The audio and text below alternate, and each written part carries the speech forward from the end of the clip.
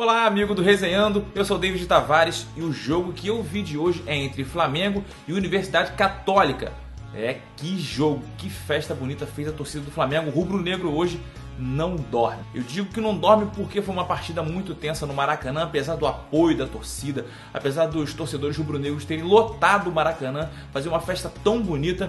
O jogo não foi nada fácil para o Flamengo, especialmente no primeiro tempo.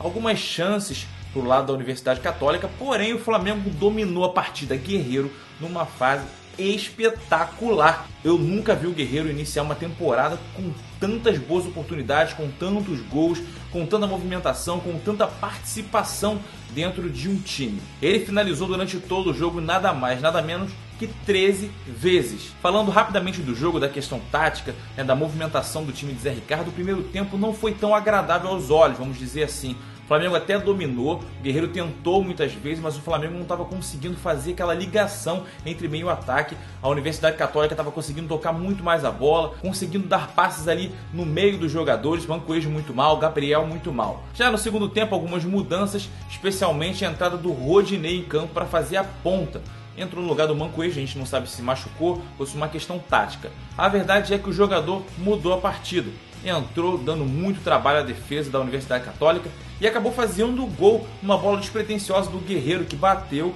a bola rebateu na zaga e voltou para o Rodinei de canhota fazer um golaço para delírio da torcida.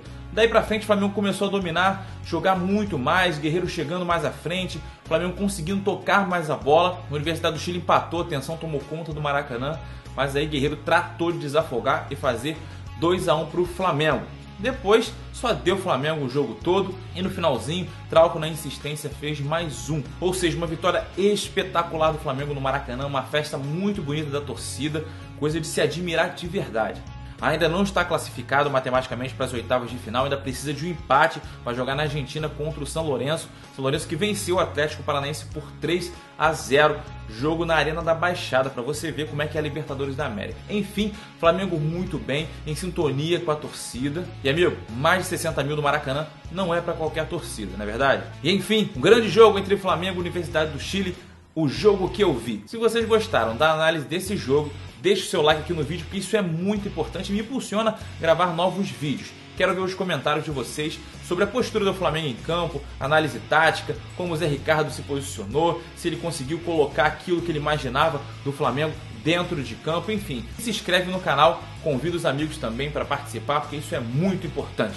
Valeu pela audiência de sempre, esse é o jogo que eu vi. Grande abraço, até a próxima. Tchau.